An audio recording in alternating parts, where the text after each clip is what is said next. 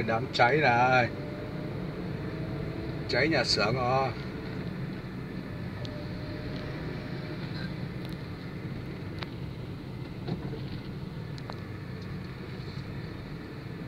rồi uh,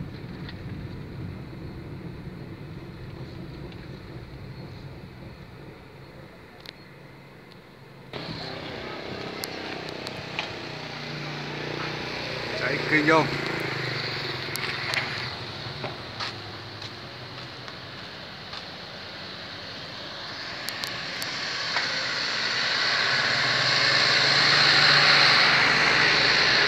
cái này cháy lâu chưa?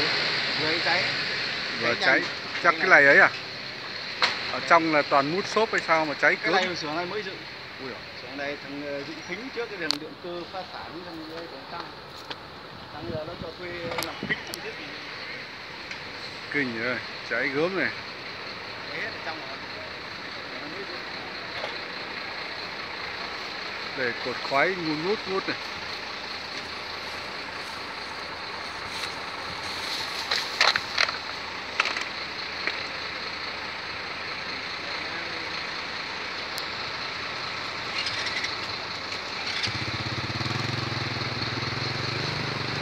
này phải có trận mưa to à? nhà máy mới xây dựng cái này nó sản xuất cái gì các anh? Cái này nó làm kính này phải trận mưa to thế này sao cứu hỏa vẫn chưa đến nhỉ?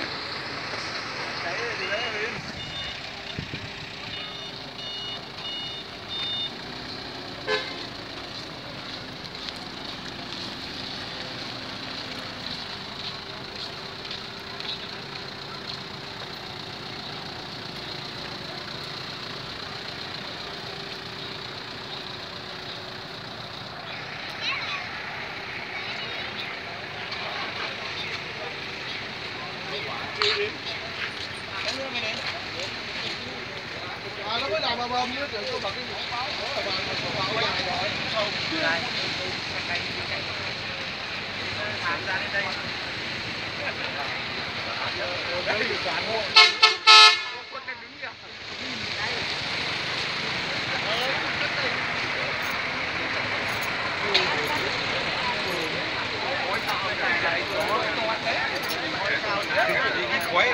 chiều của cháy xong nhiều đi rằng cháy thật công ty cổ phần Biotech